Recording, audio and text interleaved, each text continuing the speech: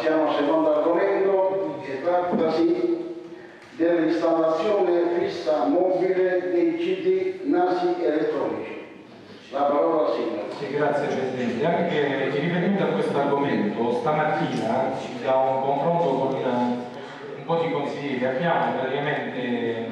preparato uno schema di delibera che io ritengo opportuno leggere in riferimento a eh, diciamo, quanto accade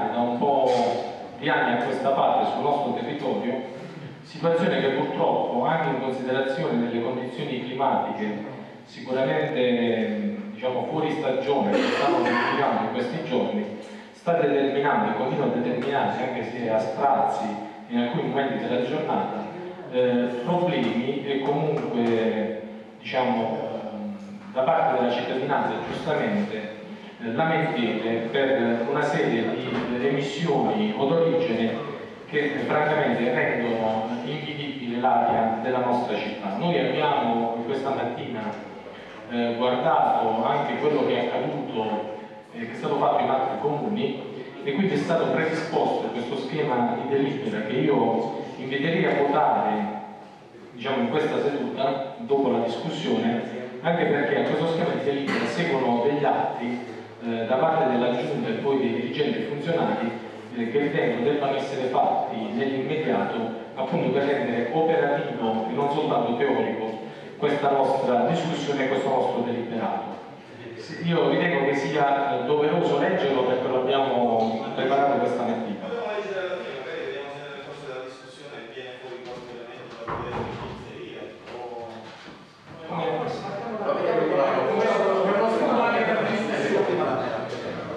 Il Consiglio Comunale, visto e richiamato il testo della proposta numero 74 del 26 settembre 2013,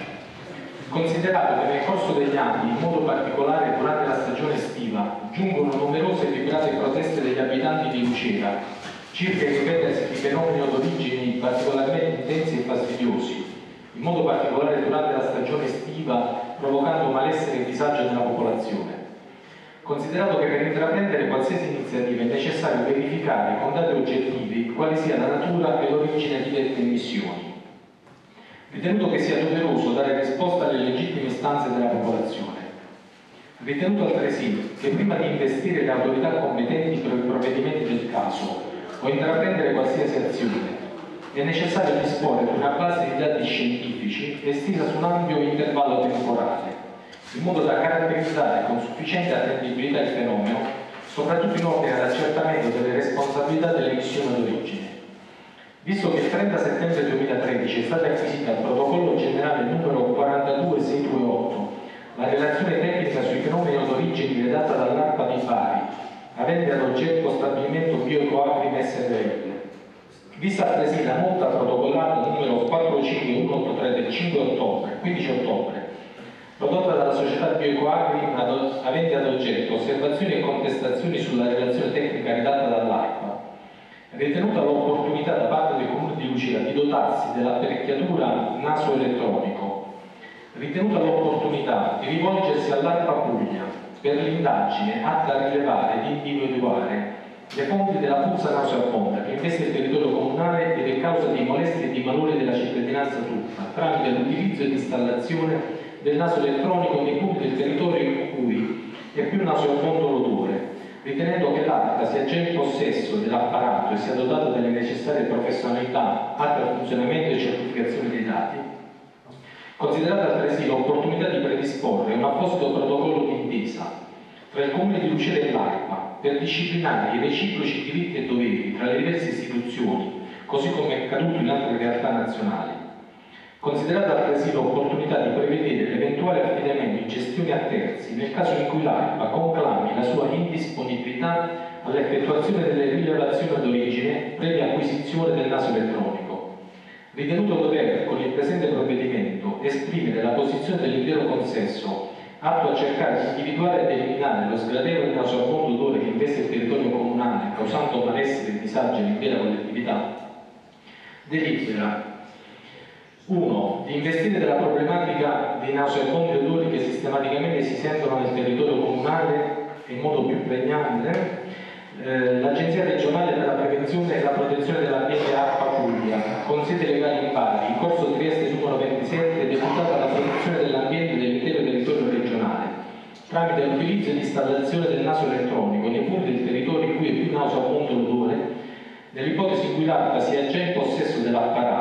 fermo restando che la stessa ARPA è dotata delle necessarie professionalità atte al funzionamento e certificazione dei dati. Di dare mandato al Sindaco di provvedere all'adozione dei provvedimenti necessari per l'acquisto di una centralina di monitoraggio delle emissioni d'origine, altrimenti nota come naso elettronico, da installarsi permanentemente nell'abitato di Lucina, allo scopo di individuare con oggettività l'origine e la natura delle emissioni d'origine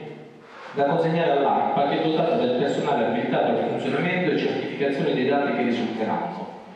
Di dare incarico alla Giunta di formulare atto di indirizzo al dirigente e o funzionario del servizio ambiente preposto affinché provveda alla redazione di apposito protocollo di intesa tra il Comune di Lucera e l'ARPA per disciplinare i reciproci diritti e doveri tra le diverse istituzioni, di dare incarico alla Giunta di formulare atto di indirizzo al dirigente o funzionario del servizio ambiente di segnalare puntualmente all'ARPA, anche con le la data e l'ora in cui viene percepita la presenza di emissione d'origine nell'abitato di Lucera. Di provvedere, qualora l'ARPA non sia disponibile a gestire l'apparato elettronico con il proprio personale, all'affidamento in gestione a terzi muniti delle necessarie professionalità, di rimettere il presentato all'ARPA Puglia, alla Regione Puglia Area Ambiente, alla Provincia di Foggia Area Ambiente ed Opere Pubbliche, alla Direzione Generale dell'ASL Foggia.